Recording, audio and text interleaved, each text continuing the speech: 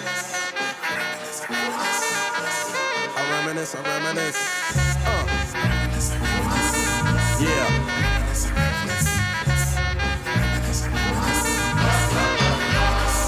I reminisce for a spell, or shall I say think back? 22 years ago to keep it on track. Uh-huh. The birth of a child on the 8th of October. A toast, but my granddaddy came sober. Count all the fingers in the